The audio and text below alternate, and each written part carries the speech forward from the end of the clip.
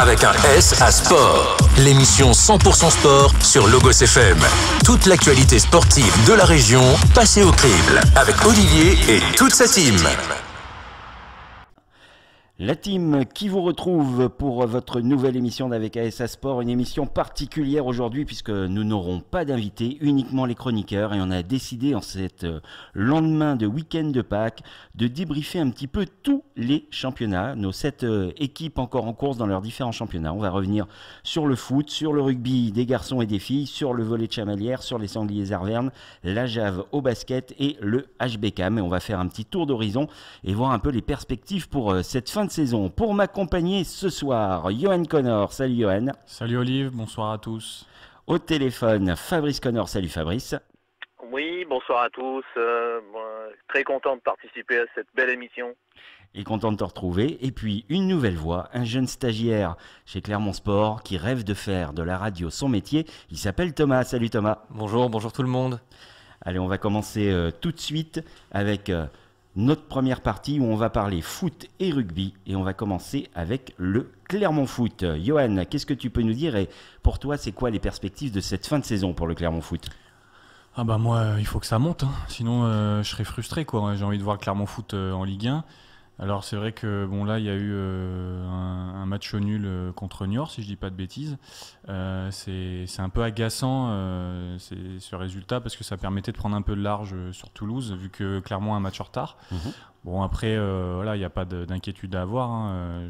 ils ont ce qu'il faut pour monter cette année et puis comme je viens de le dire il y a ce match en retard qui fera la différence sur, sur, les, sur les dernières rencontres, les dernières journées.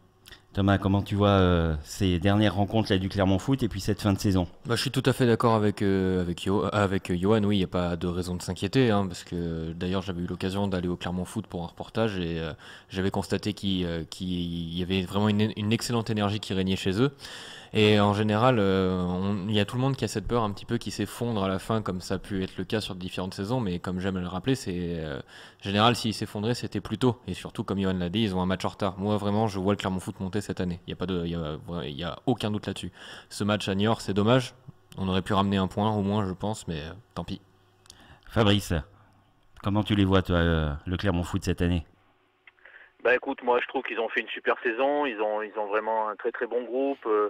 Que fait Pascal Gassien, c'est très cohérent, bah, très solide derrière, le milieu de terrain rayonne euh, à chaque sortie, et puis euh, on a le meilleur buteur euh, de Ligue 2 en la personne de Mohamed Bayo, donc, donc ça c'est très positif. Après, c'est vrai que bah, la pression va, va commencer vraiment à, augmenter parce que c'est la, la, dernière ligne droite, et cette coupure internationale n'a pas rendu service au Clermont Foot. 0-0 contre Niort à Clermont, donc bon, c'est pas perdu, vaut mieux marquer un point que zéro, bien évidemment. Après, c'est vrai que, comme l'a dit Johan, euh, ce match contre Amiens, euh, mercredi 7 avril, euh, bah, c'est un joker qu'il faudra pas griller parce que vaut mieux vaut mieux monter directement en Ligue 1 parce que ces matchs de barrage c'est toujours très compliqué. Donc il faut faire attention parce que la pression, quoi qu'il arrive, elle est, elle est automatique et elle augmente un petit peu quand même hein, dans cette dernière ligne droite, ça c'est sûr. On, va rappeler rapidement le, classement. Donc Clermont Foot qui est euh, euh, troisième actuellement, deux points de retard sur Toulouse le deuxième avec un match de retard. C'est trois qui est en tête avec 61 euh, points. La 3 semble irrattrapable maintenant, Johan? Après, mathématiquement, ils sont toujours rattrapables, mais c'est vrai qu'ils voilà, ils sont quand même un petit peu au-dessus, j'ai l'impression. Mm. ils font une saison pleine. Mm. Ils ont de l'avance au classement. non, ouais, c'est vrai que ça, il n'y a pas trop de risques à prendre à dire que 3 va finir euh, premier. Allez, on, va se faire le petit jeu des, pronostics. Tu les vois terminer où là, Johan? Euh, Clairement Oui. Deuxième. Deuxième. Thomas Pareil. Fabrice Premier, moi, premier, parce que bon, la deuxième place, euh, la deuxième place, ça vaut pas le coup de faire un championnat pour finir deuxième. Non, je plaisante. Je plaisante. dans les deux premiers, en tout cas, c'est ce qu'il faut. Faut pas, faut pas finir la troisième place, mais ils sont capables de finir premier. Hein. Ils sont capables parce que tous les entraîneurs de, Ligue 2 sont d'accord entre eux pour dire que c'est l'équipe qui les impressionne le plus dans le jeu en tout cas. Bon, et eh bien en tout cas, c'est ce qu'on leur souhaite. On va passer maintenant au rugby ballon ovale. On va parler des garçons et des filles. On va commencer par les garçons, l'ASM. Euh, les perspectives là sur euh, cette fin de saison. Thomas, tu veux commencer? Bah, euh, Les perspectives sur cette fin de saison, c'est un c'est un peu étrange, moi je trouve. Bon, déjà il y a Franck Azema, bien sûr, qui a annoncé son départ. J'ai l'impression que ça a un peu chamboulé le train-train dans lequel était tombé l'ASM de, depuis deux ans, bien en mal. Je pense qu'on manque, je sais pas encore, je pense qu'on manque de recul. Pour en parler, on a ce match qu'on gagne de façon un peu poussive euh, face aux Wasps. Euh, c'était très très étouffant. Euh, c'est la construction de ce dernier FC à la fin. En tout cas, pour, pour ce qui est de la Champions Cup, dans un premier temps, je ne pense pas que l'ASM fasse le poids face à Toulouse. Il y a des chances. J'espère, j'espère me tromper. On verra bien ce que ça donnera dimanche. Il me semble que c'est à, 11 à 16h le match, hein, c'est ça, ça. bah, du coup, en fait, je pense que le- la fin de saison en top 14 va un peu, euh, va un peu dépendre euh, du coup de- du, du résultat en Champions Cup. C'est-à-dire que si euh, l'ASM parvient par je ne sais quel miracle à, à remporter le match face à Toulouse, pour moi, la, la- la fin de saison de top 14 euh, n'en sera, sera que bénéficiaire. Après, bah, pareil, on est dans ce flou. euh, qui, qui, qui pour succéder euh, à Franck Azema On parle d'Olivier Magne. Pourquoi pas? Après, Olivier Magne n'a pas vraiment une expérience d'entraîneur dans le milieu professionnel, du moins il me semble pas. Donc pareil, ça ce sera à voir. Je- je- on- en fait, c'est ça le problème, c'est que l'ASM en ce moment, on est un peu dans le flou. Fabrice, tu les vois terminer où, euh, nos rugbyman? Eh ben, écoute, euh, comme l'a dit très justement Thomas, euh, le Stade Toulousain, c'est vraiment, euh, c'est vraiment euh, l'épouvantail du rugby français avec La Rochelle en ce moment. On peut y rajouter Racing qui a mis presque 60 points et Edimbourg hier. Edimbourg pourtant une belle équipe. Mais bon, on connaît l'objectif du Racing, c'est d'être champion d'Europe à tout prix.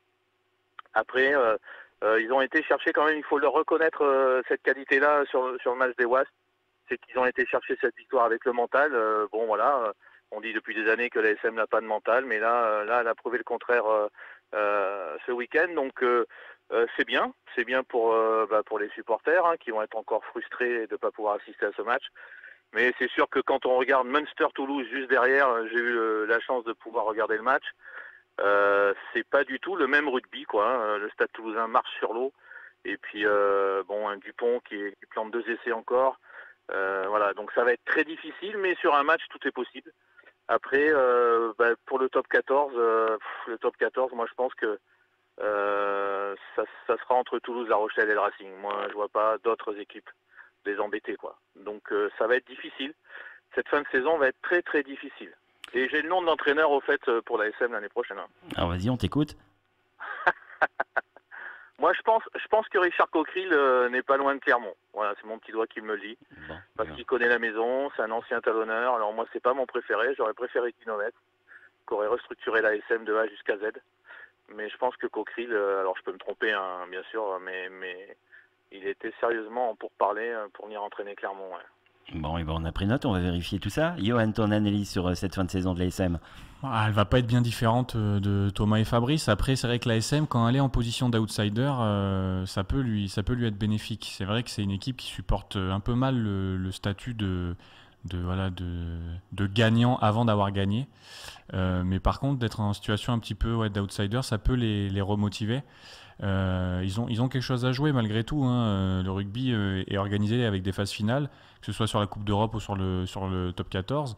Euh, donc ils peuvent aller chercher un titre d'un côté comme de l'autre. Après, c'est sûr que en étant un peu lucide, c'est vrai que le, niveau de l'ASM euh, est quand même inférieur à ce que peut produire le stade toulousain euh, notamment.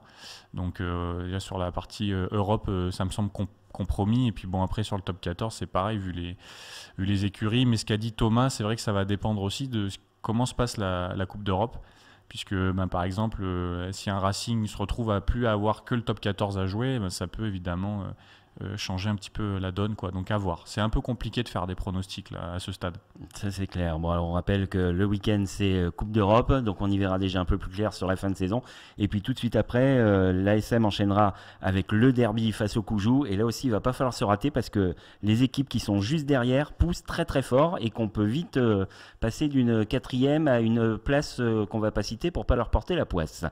Très bien, on va passer maintenant aux filles de l'ASM Romagna. Fabrice, comment tu vois cette fin de saison pour euh, les coéquipières de Jessie Trémoulière Eh ben écoute, euh, cette fin de saison, elle va être aussi euh, aussi palpitante que celle des garçons parce que donc la SM Romagna bien sûr a un playoff et début mai elles reçoivent le Stade Toulousain. Donc là c'est exactement la même chose que chez les garçons.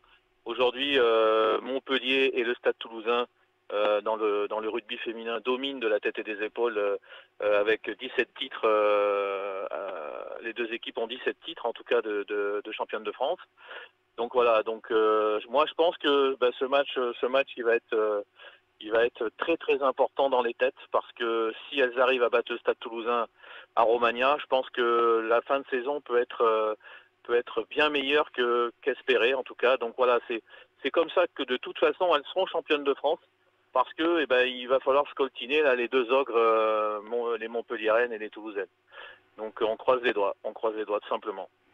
Johan, euh, bon, la qualification fait pas trop de doute là pour euh, les phases finales, au minimum pour, euh, pour un match de barrage. Est-ce qu'on peut espérer un peu plus pour les Romagnatoises Non, c'est clair qu'on peut, ouais, on peut espérer, on peut espérer plus. Elles ont un groupe intéressant cette année. Elles produisent quand même du, beau jeu et puis elles se, il y a, y a, du mental derrière. on voit sur sur leur rencontre que souvent elles vont, elles vont chercher les victoires, elles, elles lâchent pas. après, c'est sûr que voilà, Stade Toulousain, Montpellier, c'est des, des gros morceaux. Après, quand on est euh, Clermontois d'origine, on sait à quel point on est motivé face au Stade toulousain. C'est un peu comme quand la France joue l'Angleterre. Euh, c'est des matchs, euh, bon là en plus il y a de l'enjeu, mais même quand ça sert à rien, on a, on a envie de battre le Stade toulousain quand on est Clermontois. donc, donc elles peuvent, elles peuvent, elles peuvent carrément aller chercher bien plus que, que ce sur quoi on les attend. Thomas, un petit mot sur euh, cette fin de saison de l'ASM Romagna? Oui, petit mot, parce que ça va pas être bien différé de, ce que disent euh, de Johan et, Fabrice. C'est-à-dire que l'ASM Romagna produit un jeu qui est très très intéressant. Et puis ce match, euh, forcément, ce match face à Toulouse va être un peu déterminant, d'autant qu'elles sont derrière, le club, derrière ce club, pardon. Du coup, à voir ce que ça va donner, c'est toujours pareil, mais je pense que on peut s'attendre à une belle surprise, effectivement. Je, pense, comme, disait Johan, qu'on on va les trouver là où on ne les attend pas forcément. Bon, et eh ben on va suivre ça. Alors, on a un peu de temps pour suivre les filles de l'ASM Romagna parce que là, il y a une longue interruption. Elles ne vont pas jouer euh, du mois d'avril. Prochain rendez-vous, euh, c'est début mai. Et puis ensuite, elles enchaîneront jusqu'à la fin de saison, euh, la fin de ces playoffs, les phases de, de, qualification, les phases finales.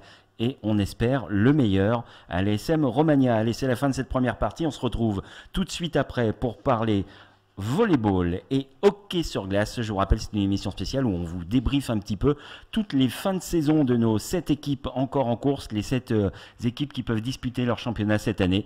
On se retrouve tout de suite après la pause. C'est avec ASA Sport sur Logos FM. Avec un S à sport. L'émission 100% sport sur Logos FM. Toute l'actualité sportive de la région passée au crible avec Olivier et toute sa team. De retour dans Avec ASA Sport, l'émission qui vous parle de sport au pluriel chaque mardi 18h sur Logos FM, la rediff le mercredi 20h, le podcast sur notre page Facebook à partir du jeudi matin, la page Facebook avec ASA Sport, n'hésitez pas à aller vous abonner. Pour m'accompagner ce soir, Fabrice et Johan Connor et un jeune stagiaire de Clermont Sport, Thomas. Bonsoir messieurs, alors cette émission spéciale où on retrace un petit peu le parcours de nos sept équipes euh, qui peuvent disputer leur championnat, on a parlé euh, foot et rugby masculin et féminin dans la première partie. On va s'intéresser maintenant aux panthères de Chamalières et aux sangliers arvernes. Alors les panthères de, Chamalières qui euh, jouent là euh, tout à l'heure. C'est la magie du pas direct, c'est le don d'ubiquité que ça me permet d'avoir. Euh, les Panthères de Chamalières qui jouent depuis 17 heures face à Béziers, un gros morceau. elles étaient opposées samedi dernier aux Mulhousiennes, au leader de Mulhouse, qui euh, logiquement devrait terminer euh, championne de France. Rien n'est fait encore là pour euh, les Panthères de Chamalières. Comment vous voyez cette fin de saison Johan, tu veux commencer? Eh ben allez, pourquoi pas. moi, je suis pas, j'avoue, je suis pas inquiet pour les Panthères. cette année, alors c'est sûr, ça va pas être facile, il faut rien lâcher, la saison n'est pas terminée, mais il y a quand même, je trouve qu'il y a un petit facteur X en plus cette année, une capacité à produire vraiment du très beau jeu, à des fois même euh, carrément exploser les adversaires sur des sets ou sur des matchs. On l'a vu, euh, la prestation qu'elle sortent contre Cannes, 3-7-0. Euh, enfin voilà, donc il y, a ça en plus. après, j'ai, est-ce que c'est, est-ce que mon avis est, pas le bon ou pas? Je sais pas, mais j'ai peut-être l'impression que cette année le niveau est peut-être un petit peu plus relevé, ce qui fait qu'on a l'impression qu'elles peuvent malheureusement avoir une saison très très compliquée, mais je pense que il n'y a pas d'inquiétude à avoir pour les Panthères. Il y a du très beau jeu cette année et, euh, elles, vont, elles vont réussir à, atteindre le but qu'elles se sont fixées. On l'espère en tout cas. Fabrice, un petit mot sur les Panthères. Oui, bah écoute, euh, moi je suis de la vie de Johan. C'est vrai qu'on n'a pas, euh, moi non plus, je suis pas inquiet. Hein. alors peut-être qu'on devrait l'être parce que, enfin, tu vas me, me, le dire, Olivier, elles sont 12e, hein, je crois, c'est ça? C'est ça, oui. Ouais, c'est ça. Donc je pense que la bagarre avec Istres, bon, Mougin, Mougin, c'est terminé. La, bagarre avec Istres et peut-être Saint-Raphaël va, va, va, va, être, va être quand même assez, assez serrée. Mais bon, c'est vrai que je sais pas, je sais pas pourquoi, mais, mais cette équipe, elle, elle peut, elle peut battre n'importe qui et, et, je trouve que elles ont fait un bon championnat parce que c'était pas c'était pas facile à un moment donné. Et puis encore une fois, cette saison, on en parlera certainement avec le hockey tout à l'heure, à cause de la crise sanitaire, ben, ben cette saison, elle est euh, elle est complètement tronquée parce que c'est vrai que le public, surtout dans surtout à Chatrousse, le public euh, fait la différence. Hein, donc euh, voilà, après c'est c'est particulier cette année. Mais moi, je pense que Chamanière va se maintenir. Et puis je fais un petit coucou parce que euh, il y a longtemps que je l'ai pas vu, mais je fais un petit coucou à mon ami euh, Pep Toubani. et, ben moi je vais lui faire un petit coucou aussi et puis je vais lui souhaiter un très bon anniversaire parce que c'est aujourd'hui. Donc bon anniversaire au coach. Euh, Thomas, un petit mot sur les Panthères. Et bah, du coup, on espère que pour le coach, elles lui rapporteront un beau cadeau, c'est-à-dire la victoire. non, Pareil, je, suis, je pense qu'on n'a pas besoin d'être inquiet parce que là j'ai le classement sous les yeux. Euh, les scores sont assez serrés en fait au classement, les points sont assez serrés, tout est encore possible. Je pense que le maintien est assuré pour la saison. Il a pas de, il a pas de, je pense qu'il n'y a pas besoin d'avoir peur d'une relégation pour le club. Alors c'est vrai qu'en plus il y a des confrontations directes, hein, donc euh, les Panthères ont leur destin entre les mains. Euh, elles vont jouer euh, notamment à Paris, qui fait partie de cette bande des quatre qui va jouer le, maintien. Alors Paris qui a eu des cas de Covid ce week-end, donc match reporté. J'imagine qu'avec les, cas contacts, elles ne pourront pas jouer non plus ce soir. J'avoue que j'ai pas regardé le, calendrier là pour, pour ce soir. où est-ce qu'elles vont replacer ces deux matchs? Déjà un, c'était compliqué parce que la particularité, c'est que le championnat doit impérativement s'arrêter le 21 avril, parce que le week-end qui suit, il y a la finale de Coupe de France qui ne peut pas être décalée, et tout de suite derrière démarre la saison internationale. Donc quoi qu'il arrive, le championnat doit, doit se terminer le 21 avril, que les équipes aient joué ou non. Après, si elles sont vraiment motivées, elles peuvent jouer la nuit. Elles, peuvent jouer la nuit. Alors, on, a le cas d'Aix-Venel hein, qui va faire deux matchs en 48 heures. et, euh, et, il se trouve que Aix-Venel va se déplacer les deux fois et une fois à Mougins, une fois à Saint-Raphaël. Alors, c'est pas tellement le déplacement parce que c'est à côté, je suppose qu'elles dormiront sur place, mais il se trouve qu'elles jouent euh, les deux candidats au maintien en 24 heures et qu'Aix-Venel, depuis ses 8 cas de Covid sur 12 joueuses, c'est euh, une équipe un peu fantôme. On l'a vu contre, contre Chamalières. Hein. Euh, ça, n'enlève rien à la belle victoire de Chamalières 3-0, mais on voit que les filles sont très très vite exténuées et fatiguées. Alors, euh, Chamalière ira également à, Paris, donc je l'ai dit, va se déplacer à Saint-Raphaël, candidat direct, pour finir à Mougins. Mougins qui logiquement n'aura plus rien à jouer, mais je pense que les filles de Maritari auront à cœur de donner le meilleur avant de quitter la, Ligue A féminine. Donc, euh, comme on dit chez nous, méfiate, rien n'est joué et il va vraiment falloir être, être très très très sérieux. Moi, je, je suis optimiste aussi, mais prudent, forcément. On va parler maintenant des, sangliers Verne euh, qui euh, ben, nous ont fait des belles surprises sur euh, les deux derniers matchs. Et puis là, samedi, c'était un gros morceau face à Strasbourg. Et nous qui étions habitués au, score fleuve, et ben là, une défaite évidemment, mais 4 à 2 pas de, euh, l'équipe n'est pas ridicule. Ils ont, ils ont bien défendu le morceau. Vas-y, Johan, tu commences. Ouais, alors je tiens à préciser quand même pour les curieux qui nous écoutent que oui, même quand il fait chaud, on peut jouer au hockey sur glace. Hein, c'est parce que c'est souvent ça à couvert. Euh, je sais que vous êtes tous des petits curieux, donc voilà, je voulais vous le dire. Non, euh, honnêtement, ils font une fin de saison qui est prometteuse pour l'année prochaine. Là, cette année, avec le Covid, euh, ça ne compte pas. Il n'y a pas de descente, il n'y a pas. Voilà. Euh, mais donc, euh, ils font l'effort, ils, se sont mis au travail. Le travail a fini par, par payer. et on voit, il y a eu deux victoires coup sur coup. Là, ça perd contre Strasbourg, mais ça perd 4-2 alors qu'on a eu des rencontres où ils se sont fait euh, laminer. On commençait à se dire euh, ça va être une saison euh, pas très intéressante pour le club, pour le groupe et tout. Au final, voilà, ça montre que ben, quand on se met au travail et quand il y a une envie de gagner, même dans le sport professionnel, l'envie, la motivation font la différence. Et donc là, c'est ce que nous montre la fin de saison. de moins en moins de bah, déjà deux victoires sur les trois dernières rencontres et puis plus de score fleuve. Quoi. Donc ça, c'est très positif. Voilà, le travail paye, ça c'est clair. Et on se rappelle que Raman Sopko restait quand même positif sur le travail qu'il accomplissait. Et on sait bien que ça ne va pas se déclencher du jour au lendemain. Il faut quelques semaines, parfois plusieurs mois avant de, qu'on commence à récolter les fruits du travail. Thomas Et bien après, comme disait euh, Johan, euh, bon, du coup c'est un peu une saison sans enjeu parce qu'à cause du Covid, il n'y a, pas de, a pas de descente. Mais du coup c'est bien parce que ça permet à Clermont, enfin au Sanglier, d'avoir euh, un peu une saison de transition, une saison refondation. Et puis en plus, rien n'est fini parce qu'il y a encore ce match face à Épinal et ils n'ont pas beaucoup d'écart au classement, encore une fois. Donc ils peuvent très bien remonter. Voilà, je, mon avis c'est que, on, comme disait Johan, on peut s'attendre à de belles choses pour la saison prochaine. Fabrice, comment tu vois ces, sangliers? Comment tu les vois terminer? Alors moi, écoute, euh, déjà, je voudrais commencer par mettre un, gros carton rouge à la Fédération française de hockey sur glace. Parce que euh, donc euh, il y a eu une partie de saison qui a démarré en septembre, après ils ont arrêté, ils sont repartis sur une nouvelle formule. Aujourd'hui, donc il n'y a pas de montée ni de descente. Alors ok, bon, effectivement, ça arrange bien les sangliers Arverne qu'il n'y ait pas de descente, mais une équipe comme Strasbourg qui est leader et, qui a vraiment une belle équipe, donc ne pourra pas monter en Magnus. Donc ça, moi, je trouve ça un petit peu aberrant que maintenant, dans un sport collectif qui est, semi-professionnel, euh, qu'il n'y ait pas de montée et de descente. Voilà, moi, c'est ce que je voulais dire pour la Fédération française de hockey sur glace. En ce qui concerne les sangliers arvernes, euh, comme le disait Johan, c'est vrai que bah, il y a de meilleures prestations. Et puis surtout, il y a eu des victoires. Donc c'est vrai que c'est comme s'ils avaient démarré la saison de Formule 1 avec une Clio. Mais aujourd'hui, je trouve que ça s'est euh, largement amélioré.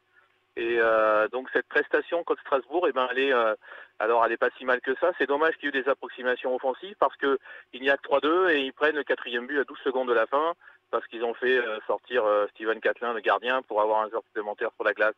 Donc à 3-2, tout était jouable. Et puis ah ben, Ramon Sopko était tellement déçu qu'il n'a même pas participé à la conférence de presse d'après-match, mais ça peut se comprendre parce qu'ils auraient peut-être pu accrocher le leader en prolongation, voire les battre au tir au but. Donc là, ça aurait été vraiment la récompense de la saison. Mais en tout cas, effectivement, comme le disait Thomas, euh, cette saison sera de transition, ce qui, peut, préparer la saison prochaine. Donc, euh, on peut s'attendre à une belle saison prochaine. Mais encore une fois, euh, la Fédération française de hockey sur glace, il va falloir qu'ils bah, réfléchissent un petit peu plus pour bah, déjà pour intéresser les joueurs, les équipes, les sponsors. Parce qu'il doit y avoir des montées et des descentes en sport collectif. Moi, je suis désolé. Bon, eh ben, c'est vrai que c'est une saison un peu particulière et chacun s'est adapté avec, euh, avec ses moyens. C'est compliqué après de savoir euh, quelle, quelle, était la bonne ou la mauvaise euh, décision. Chacun a fait un peu à son idée. en tout cas, merci de votre analyse. On va se retrouver tout de suite après la pause. Cette fois, on débriefera la fin de saison de la Jave Clermont Métropole et du HBKM. On se retrouve tout de suite après la pause sur le COS FM. Vous êtes toujours dans la VKS Sport avec un S à sport. L'émission 100% sport sur Logos FM. Toute l'actualité sportive de la région passée au crible avec Olivier et toute sa team. De retour dans Avec ASA Sport, l'émission qui vous parle de sport au pluriel sur le FM, toujours dans la bonne humeur, vous pouvez l'entendre. Heureusement que vous n'entendez pas tout ce qui se dit en off. On débriefe aujourd'hui dans cette émission euh, spéciale, on débriefe un peu l'actualité de euh, nos différents clubs qui peuvent poursuivre leur championnat. On a parlé en première partie du Clermont Foot, de l'ASM, de l'ASM Romagna. En deuxième partie, on est revenu sur les perspectives de fin de saison du Volleyball Club Chamalière et des Sangliers Arvernes. Il nous reste deux clubs à débriefer, la Jave pour le basket, le HBCAM pour le hand. Johan, tu veux commencer pour la Jave? Allez, Thomas, c'est toi qui commence pour la Jave Eh bien, je veux bien commencer pour la Jave. Euh, du coup, ce qui est intéressant, c'est qu'ils euh, ont perdu leur dernier match. Mais ils restent quand même euh, qualifiables pour les playoffs pour l'instant, mais ils sont un peu du coup sur la corde raide. C'est dommage qu'ils perdent leur dernier match d'ailleurs parce qu'ils étaient bien partis. la première mi-temps était vraiment bien engagée, ils menaient même si, euh, même si euh, les Alsaciens avaient réussi à recoller, euh, avaient réussi à recoller au score à la fin, il, y avait une bonne entente. Malheureusement, Gris Oberhofen a, complètement réussi à renverser la situation à son avantage, c'est dommage. C'est dommage, mais du coup, Vichy, Clermont doit faire attention. S'ils veulent se qualifier pour les phases finales, ils n'ont pas le choix que de, que de remporter leur prochain match, parce que là, ils sont vraiment sur la corde raide. J'ai envie de faire un peu un parallèle avec ce que tu disais pour le Clermont Foot, Johan, euh, tout à l'heure. Euh, quand ils font match nul sur, sur euh, Junior, sur Niort, on a l'impression que quand ils s'approchent un peu trop près du, du, soleil, ils se brûlent un peu, ils ratent l'occasion de faire la différence et de, de passer un petit peu ce, ce cap. C'est t'as le même sentiment pour la Java? Ouais, ouais, si, un petit peu. Après, est-ce qu'il manque de, qu'il manque de lucidité? Est-ce qu'ils s'emballent pas trop vite quand ils, tout, quand ils sont, quand ils sont près de, de, de, du but? Euh, Après, il faut quand même souligner que c'est une équipe qui est quand même qualitative, qui est malgré les derniers résultats un petit peu aléatoires, qui est une équipe qui est assez régulière au, fil des, au fil des années. Après, c'est sûr qu'il y aurait, il y aurait la, place et les capacités pour faire mieux, c'est ça qui est un peu frustrant. Mm. mais, mais ouais, c'est vrai que là, il y, y, y, a des défaites qui sont un petit peu, un petit peu agaçantes.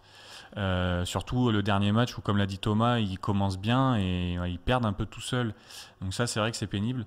Après, euh, après c'est pas une saison achetée euh, à la poubelle, hein, loin de là. Mais, euh, mais ouais, c'est vrai qu'il y aurait, y aurait la place de faire peut-être mieux. Thomas, tu voulais ajouter quelque chose? Bah ouais, parce que ce serait dommage en fait que le qui lâche maintenant, parce que ça fait vraiment quelques années maintenant qu'ils sont sur une excellente dynamique. En fait, la Vichy Clermont, qu'ils ont vraiment réussi à se restructurer en tant que club. Et il me semble qu'il n'y a même pas, long, pas si longtemps que ça, ils terminaient à la cinquième place. Donc ils avaient vraiment une bonne place en playoff. Ce serait dommage de, de, craquer maintenant, quoi. Parce que je pense que ça pourrait casser une, une dynamique qui mmh, euh, ne demande qu'à progresser, quoi. Oui, et puis euh, on va rappeler le classement. Hein, la JAF qui est pour l'instant 8 euh, mmh. pas très très loin des, des premières places. on est un peu dans ce ventre mou, mais c'est vrai qu'on sent qu'il manquerait pas grand chose pour, pour que l'équipe progresse d'un coup et gagne quelques places au classement. Fabrice, ton avis sur la JAV bah moi je pense que c'est un, un groupe solide. Après cette huitième place, euh, euh, ils sont bien ils sont bien placés parce que voilà c'est une, une, équipe qui a qui a de l'expérience, qui a de l'expérience de la Pro B avec un coach Guillaume Bizat qui connaît vraiment le basket sur le bout des doigts. C'est un vrai passionné. Donc euh, moi je pense que euh, la JAV va se qualifier et puis bon après pour monter en, en Elite euh, qu'on appelle plus communément Pro A, ça c'est ça c'est autre chose. Mais, mais en tout cas, c'est vrai que la JAV joue toujours les premiers rôles en Pro B. Euh, effectivement, il y a quelques années, Vichy et le Stade Clermontois étaient en Pro donc c'était vraiment énorme. Euh, le basket, le basket auvergnat euh, tient une place prépondérante dans le basket français. Donc voilà, bon, il faut leur faire confiance, hein, il faut faire confiance au staff, à tous les dirigeants. Et puis moi, je pense que pareil, hein, dans, cette fin de, championnat, cette fin de saison, l'expérience de la Pro B va faire la différence, ça c'est sûr, c'est sûr. Johan. Ouais, puis si LeBron James veut finir sa carrière en Auvergne, euh, on, y est bien. Euh, juste une ou deux saisons, LeBron, s'il te plaît, ce serait sympa. Oh, même six mois, ça peut suffire. Hein. Même, un trimestre. juste un petit trimestre. Par contre, moi j'ai un scoop. Euh, Stephen Curry va venir, je pense, parce que les Warriors sont à la rue complètement. Donc, mais ce qu'il y a, c'est qu'il toutes les taxes foncières et d'habitation de Vichy-Clermont vont, augmenter de 250%. Donc. Euh. ne parle pas de malheur. Alors pour les supporters de la Jave, alors eux le savent, mais pour vous auditeurs, si vous souhaitez suivre la Jave, mais ils vont jouer tout de suite après euh, notre émission. Là, ils jouent à 19h euh, à Pierre-Coulon à Vichy. rencontre que vous pourrez suivre sur les, les, réseaux sociaux pour la réception de Paris Basket. Allez, on va enchaîner avec la dernière équipe, le HBCAM, les Volcaniques, qui jouaient deux rencontres importantes là, ce week-end elles jouaient samedi et puis elles ont joué hier. Euh, malheureusement, défaite euh, dans les deux cas. Qui est-ce qui commence Johan? Eh ben pourquoi pas. Euh, c'est vrai que c'est pas c'est pas un super week-end quoi de défaite. ça aurait été bien de, gagner ce match là. c'est c'est compliqué quoi. là. Je pense que la saison va être un peu décevante quand même dans les, dans, dans les têtes, même au niveau du coach, du staff, des joueuses. là, il y a une petite frustration qui va s'installer parce que je pense que euh, je pense que c'est pas ce qui était attendu ni par le club, ni par les supporters, ni par les joueuses dans, l'ensemble du, enfin du groupe et, et pas vraiment là où on l'attendait. C'est dommage. Après, encore une fois, on peut trouver des excuses. Hein. C'est une saison particulière. Il y, a eu des, il y a eu des blessures. à un moment donné, il y a eu beaucoup de blessures. beaucoup de blessures jusqu'à la fin de euh, saison. Hein. beaucoup de choses majeures qui sont, qui sont out. Mais malheureusement, ça aussi, euh, tous les clubs font face à des blessures. Tous les clubs font face euh, à des cas de Covid. Tous les clubs font face à des difficultés financières, organisationnelles, etc. Tout ce qu'on veut. Donc voilà, le HBK n'est pas, est pas différent des autres et, et, malheureusement ça vient un peu gâcher la saison. Quoi. Bon, une saison qui n'est pas non plus totalement jetée aux orties, déjà parce qu'elle n'est pas finie. Le HBK est quatrième malgré cette ces doubles défaites. Euh, quatrième devant Vaux-en-Velin. Dernière euh, rencontre euh, la semaine prochaine. Il va pas falloir se rater par contre. Non, c'est ça, c'est clair. C'est qu'en fait, tu pouvais. En fait, ce que je veux dire par là, c'est vrai que bon, je suis un peu dur dans, dans, dans, mon propos, mais ce que je voulais dire, c'est que tu avais la possibilité d'être de, d'être un petit peu dans un fauteuil. Et au final, tu t'installes tu une précarité sur la fin de la saison qui était. Qui était bah, qui n'était pas utile et surtout tu avais ton destin en main pour l'éviter et, tu t'infliges voilà, une précarité qui va mettre une pression supplémentaire sur une saison qui est déjà pas facile avec toutes les blessures qu'il y a eu. Fabrice, euh, ton avis sur euh, les joueuses de, Jamal El Kabous? Eh ben écoute, euh, ouais, Jamal El Kabous, on parle, moi je parle souvent avec lui et c'est vrai que bon, bon, ben, cette, cette, cette place, cette place en playoff, elle est, elle est nécessaire pour l'évolution pour l'évolution du club, hein, ça c'est sûr. Après, euh, ça évite déjà de, de, jouer de jouer des playdowns, hein, parce que les playdowns, ben, si on passe à travers, on peut descendre. Euh, mais bon, après, voilà, c'est faire essayer de, de, sur les sur les deux trois ans qui viennent de rester parmi parmi les les huit meilleures équipes euh, de, de deuxième division, euh, parce que encore une fois, hein, comme je disais tout à l'heure pour la Jave, à l'étage au-dessus, ben, c'est une autre paire de manches. Quand on voit des équipes comme Metz et Brest là, qui, qui, qui survolent le championnat euh, en première division. Donc voilà, enfin bref, en tout cas, c'est vrai que euh, tout ce qui a été mis en place euh, depuis des années, euh, ben, moi je pense que ben, il faut continuer, hein, il faut continuer, mais, pas se précipiter. Pas se précipiter parce que les playoffs, ben, c'est sûr qu'elles vont pas jouer les playoffs pendant 10 ans non plus. Il faudra bien aller voir un jour à l'étage au-dessus. Mais, mais voilà, il faut, il faut vraiment structurer tout ça. quoi. Donc voilà, mais en tout cas, bravo à Jamal El Kabouz qui, qui fait du bon boulot. Ça c'est sûr. Thomas, un petit mot. C'est dommage parce que ce match était vraiment très serré. Euh, et ça mène à la défaite malheureusement, mais euh, tout au long, euh, tout au long du, match, on n'avait vraiment aucune certitude sur l'issue que ça pouvait. Donc c'est dommage de de pas avoir su saisir l'occasion, on va dire. Après, comme on, comme on disait, hein, pour le prochain, pour prochain et dernier match surtout, elle rencontre le dernier au classement. Donc c'est effectivement là qu'il faudra pas pas se louper parce que bah, c'est là-dessus qu'on va jouer la qualification pour les, play, pour les playoffs du coup et les phases qualificatives par la, par la même occasion. Donc effectivement, ça va être euh, encore une fois difficile. Et comme je le répète euh, un peu, un peu souvent depuis le début de cette émission, on est un peu dans le, dans le flou. Quoi. Et euh, on va rappeler rapidement le, le règlement hein, de ces playoffs et de ces playdowns. Euh, on refait une poule avec les quatre premiers de, des, deux, des mm. deux autres poules et avec les quatre derniers pour les playdowns. Et on garde les points acquis contre les équipes qu'on avait déjà dans notre poule. Alors c'est vrai que ces playoffs assurent le maintien. Et compte tenu des résultats, là j'ai pas fait le calcul parce qu'il faudrait se poser un petit peu, euh, compte tenu des résultats du, des volcaniques cette saison, je suis pas sûr qu'en playdown, elle démarre avec énormément de points et que le maintien soit si acquis que ça. Ça serait intéressant de, vérifier. Donc, vaut mieux effectivement assurer le coup en playoff pour être tranquille et puis éviter de se faire des nœuds au cerveau euh, inutilement. La saison a été suffisamment compliquée et euh, les volcaniques ont besoin de se maintenir pour euh, construire vis-à-vis -vis des partenaires, du public. C'est important que cette équipe soit en playoff. Très bien, merci beaucoup euh, messieurs pour euh, cette analyse sur nos sept clubs. On se retrouve tout à l'heure pour la dernière partie. On reprend les bonnes vieilles habitudes avec le traditionnel coup de cœur, coup de gueule. Et notre quiz, on se retrouve tout de suite après la pause sur Logos FM. Vous êtes dans avec ASA Sport. Avec un S à sport. L'émission 100% sport sur Logos FM. Toute l'actualité sportive de la région passée au crible avec Olivier et toute sa team. Quatrième et dernière partie d'Avec ASA Sport sur le Goss FM, l'émission qui vous parle de sport au pluriel. On va reprendre maintenant nos bonnes habitudes avec Fabrice, Johan Connor et notre jeune stagiaire Thomas. On va terminer avec euh, notre coup de cœur, coup de gueule et notre traditionnel quiz. Alors aujourd'hui, j'avais envie de pousser un gros coup de gueule contre le report du Paris-Roubaix toutes les courses, euh, notamment les courses cyclistes, se sont tenues depuis le début de l'année. Alors on pouvait comprendre que l'année dernière, effectivement, il y, a, eu ce report. On était dans une situation inédite pour euh, nos générations. Euh, donc ça pouvait s'expliquer. On a reporté Roland Garros, on a reporté le Tour de France, on a reporté l'Euro de foot, les Jeux Olympiques. On était vraiment dans une situation exceptionnelle et d'urgence.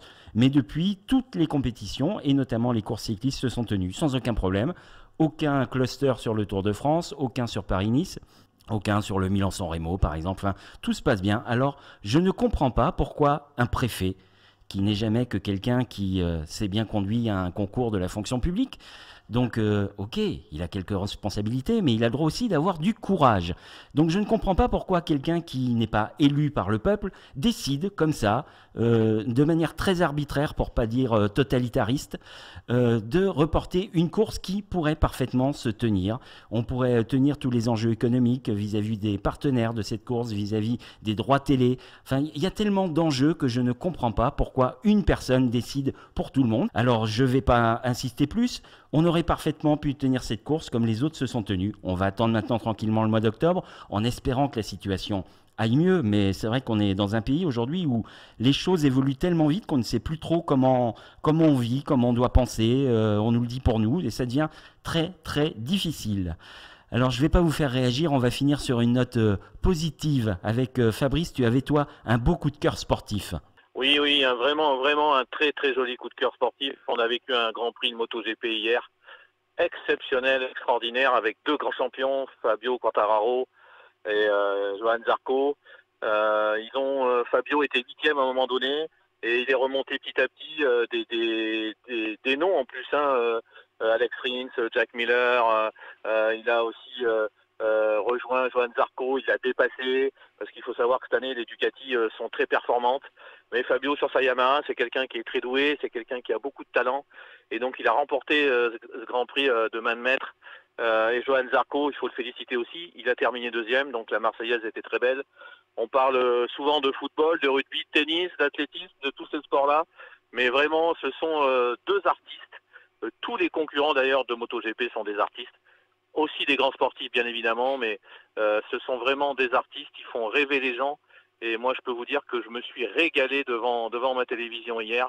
Et ne ratez plus un, un Grand Prix moto parce que ça en vaut vraiment le coup.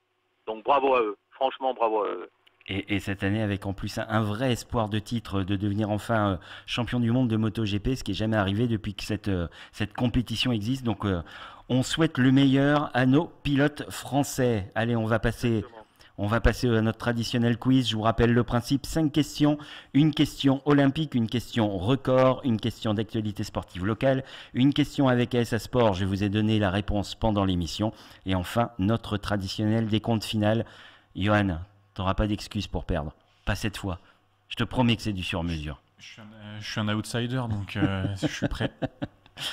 Allez, comme, comme Fabrice est au téléphone, vous répondrez euh, à tour de rôle. Je vais laisser les, deux micros ouverts, mais on va essayer de, que vous répondiez chacun votre tour. Alors, vous savez, pour la question olympique, que les Jeux de Tokyo ont été reportés à 2021. On espère qu'ils vont avoir lieu cette année. Ça n'était arrivé que trois fois dans l'histoire, le report des Jeux. C'était en 1916, 1940 et 1944. Je vais vous demander, messieurs, Johan, c'est toi qui commenceras, où auraient dû se tenir les Jeux de 44 Alors, déjà, les Jeux de 40 devaient se tenir à Tokyo. Bien, Je à le dire. belle culture sportive. Merci. Je dirais Berlin, peut-être. Non, Fabrice. Londres. Londres, exactement. C'était les Jeux de Londres. Ouais, mais ensuite, il était né, lui, pour ça. Et oui, et pas toi. Et c'est c'est vrai que c'est un gros avantage. Ah. Ça faut reconnaître. Allez, le premier point pour Fabrice.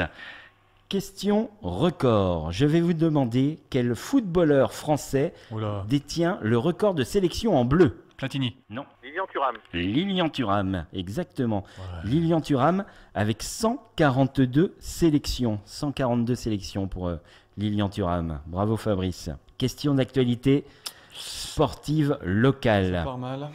Ça part mal, ouais, je te confirme. Mm. Combien reste-t-il de journées à jouer en top 14 5. Non. Euh, 6. 6. Le point pour Fabrice.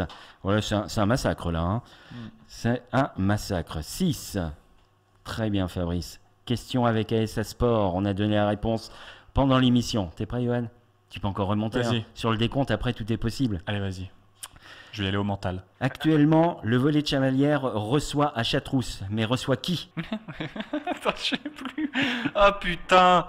Euh, Je peux répondre? Non, non, non. Attendez, oh, deux secondes, ok. Euh, ils reçoivent euh, Allez Fabrice. Istres, Non, pas Istres. Béziers. Béziers. Ouais. Ils reçoivent Béziers. Ouais, bien, bien. Allez, je te l'accorde, je te l'accorde, je te l'accorde. Ça va, je t'ai pas, je t'ai pas trop aidé là sur ce coup-là. Écoute, euh, j'allais le dire, donc euh, tu vois, c'est. Allez, je t'accorde le point, c'est moi qui te l'ai donné. Franchement, ça fait plaisir. Allez, le décompte final. Je suis en grande, grande forme ce soir. hein. Le décompte final, on va parler rugby, un sport que vous maîtrisez tous les deux. Et je vais vous demander de me retrouver les dix premiers champions de France de l'après-guerre. On va partir en 46. Les clubs, presque tous les clubs existent toujours. Il y en a un qui est un peu piégeux. C'est Johan qui commence. Allez, vas-y. Et je vous rappelle que vous pourrez faire appel à Thomas une fois chacun pour votre joker. Les dix premiers clubs T'en as un? de l'après-guerre. Bon, ma joker. Oh là, d'entrée de jeu. Moi, je crois qu'il y a la Voulte. Eh bien non, il n'y a pas la voulte dans les dix premiers. J'allais le dire en plus. Fabrice, Perpignan. Perpignan, oui. Perpignan fait partie de ces... Champion en, en 55, je crois. C'est ça, oui. Euh, non, mais en fait, ça doit être un vampire. Il est, il est né il y a 300 ans. Et du coup, euh, Johan, à toi. Tarbes? Non, il n'y a pas Tarbes dans ces dix premiers clubs. Fabrice. Toulouse? Euh, Toulouse, eh ben oui, Toulouse en 47. Alors, ce que je sais, c'est qu'il n'y avait pas Montferrand, puisque ça a gagné qu'en Ça, 2010. ça, voilà, ça celui-là c'est facile. À toi Johan. Ah putain. euh, Allez. Béziers, peut-être? Il y a Béziers, oui, exactement. Béziers est dans ces, ces dix premiers. Fabrice, à toi. euh, Narbonne Non, Narbonne n'est pas dedans. Johan. Le Racing? Le Racing, oui, le Racing en fait partie. Ça nous fait 5 à 3. Fabrice. euh, Trop tard, à moi, à moi ça. à moi.